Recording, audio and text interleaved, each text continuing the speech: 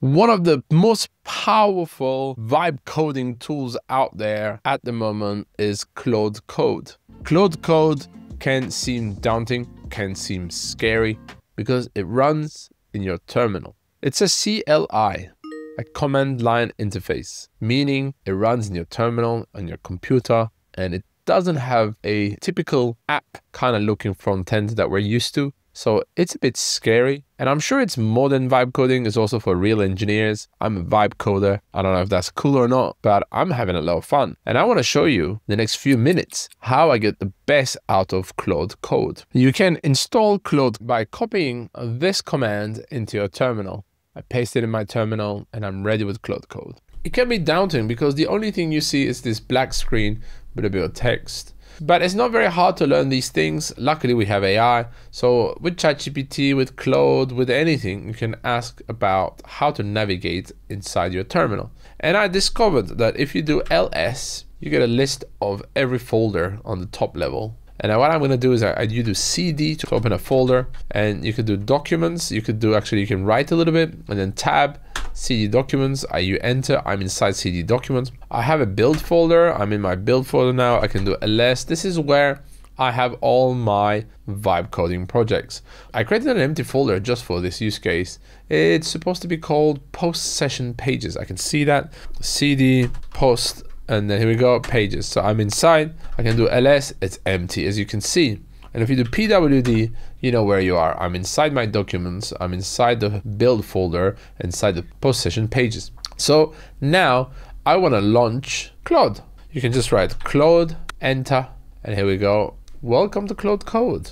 Awesome. Ask Claude to create a new app or clone a repository. Use Claude to help with file analysis, editing, bash commands, and Git. Be as specific as you would like with another engineer with the best results. I love Claude Code because I've already integrated it to my Zapier MCP, which I have another video I just did about that. Please do watch that because that's very interesting for business automation. But right now I want to use Claude Code to build something quite simple very, very quickly. So let's start. If you do Shift Tab twice, you get to plan mode.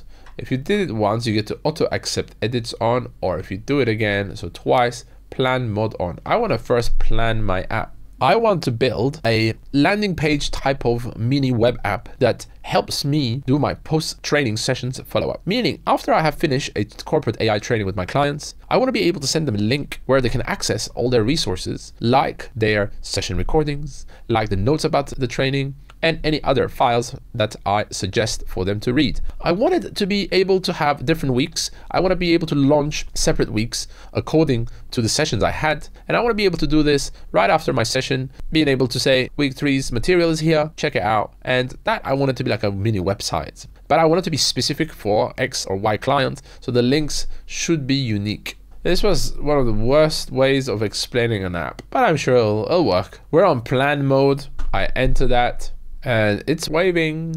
I'll help you build a landing page for post-training session follow-ups. Let me first understand the project structure and then create a plan for this web application. It's inside my folder, there's nothing in the folder, so it's not gonna find anything it wants to list. Let's accept that. Well, the folder is empty, Claude Code. Wants to keep listing. All right, here we go. Based on the analysis, the post session directory is completely empty and ready for a new project. Given the context of other projects in the build directory, here's what I would recommend. Nice, it's looked at some of my other builds. Recommend project setup plan. Since this is a blank directory, I suggest setting up a modern web application with front-end framework, React with TypeScript, consistent with other projects, because that's what I've been doing. I've been vibe coding React with TypeScript. Build tool is Vite for fast development. Styling is Tailwind CSS for utility for styling. Component library, backend, nice. Database, that's really cool. All right, let's just accept that. Yes. So it's removed us from the plan mode. Now auto accept edits on, meaning that now I should start taking some actions. Here we go. It's created some to-dos for itself. It's initializing the React TypeScript project with Vite. then it's going to do all the other steps like set up the tailwind and create landing page component structure and so on. And this is quite fast, by the way. So here we go. It's asking me permissions again.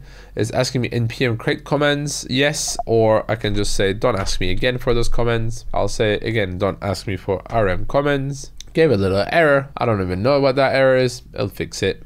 Make sure that you do this in a certain folder and don't mess up your computer because it can be problematic quite quickly. All right, what does it say? npm create vite last client template react blah blah blah. Some more MV comments. Vibe coding is all about the blah blah blahs. Please be careful when you're trying this at home. Vibe coding can be dangerous. Make sure to do this in a controlled environment. I feel like when the Jackass videos used to say, please be careful doing this at home. Vibe coding is a little bit like that. You're taking quite big risks. Sometimes it doesn't work out, sometimes it's painful, but sometimes you land that trick and then it's very interesting. Here we go. We've initialized the React and TypeScript project with Vite. We're setting up the Tailwind CSS and ShadCN UI. All right, let's keep giving it permissions some errors. npm error could not determine executable to run. npm error complete. Log of this run can be found in no 50 packages are looking for funding in uh, npm fund for details. All right, let's see. It's writing some code now. Wrote 11 lines to Tailwind config.js. It wrote six lines to PostCSS config.js. It started to write the project. And here we are, a bunch of lines of code being written. It's updated the indexed file. Well, I don't know about development much, but what I've done is I've been every night learning it by practicing it using Replit, Claude Code, Codex, Windsurf, Lovable, anything I can really. And then if I'm unsure about something, I ask ChatGPT or I ask Claude. And another little trick that I do that is really good is when you have your project, push it to GitHub. GitHub is where developers keep their code repository. If you don't know what that means, please check it out. Just search it on ChatGPT or Claude. And I push my code, my folder into GitHub so that I can access it from different applications. And what I do is I access it through ChatGPT Deep Research and I select that repo and then I ask it to explain me everything that is in that repo and explain it to me like I'm a non-developer. And then it gives me pages and pages of explanation. Then I read those explanations and then the next day I know a little bit more about development. I don't need a computer science degree and sorry for the computer scientists out there. I have a lot of friends. I know you're gonna hate me for it. Please don't, but I'm having fun. So let's give a bit more permissions set up the Tailwind CSS and ShadCN UI. It's creating the landing page component structure. That's cool. Now let me create the landing page component structure first. Let me clean up the default Vite files and create our new structure. Okay. Huh. Let me create the types for our training portal. That's cool. It's created the src types index.ts. Now it's creating a basic landing page component. Here we go. It's wrote 172 lines to src pages client portal.tsx. Now let me create the admin page for managing clients and sessions. That's cool. Now let me create the admin page, update the app.tsx to include routing. Oh, let me fix the import order. So it decides on what to fix, which is really cool. Create session, week management components. Okay, it's implemented already the unique client link generation system. Wow. And now it's creating the session slash week management components. Perfect, the development server is running. Let me create a simple toast notification component for better user feedback. Let me update the admin dashboard to include toast notifications. I think toast notification is not actual toast bread. I think it's a type of notification. Now let me create a simple file upload component. Add file upload and resource management. Oh, here we are. It doesn't seem like it's done the other to-dos, but let's check this out. Your training portal web app is now set up with the following features. Okay, the app is running at? Okay let's get that link. All right we did get a training admin dashboard. How does this work? Let's check it out. We have a big blue button new client great. Let's give a name Claude Code. Let's call this anthropic just for the sake of it. And let's do claude at test.com. Let's create the client. Amazing. We got a portal link already. That's cool. Let's just open that up. All right, we have, okay, there's nothing inside it, but welcome, Claude Code from Anthropic. Okay, so we got a URL that is working. So let's see, how do we add a session? Okay, I see this little button, open this up, add session, week number one, intro to AI. This is the intro. All right, this is cool. Create session. All right, we got a session. Let's see if that happened.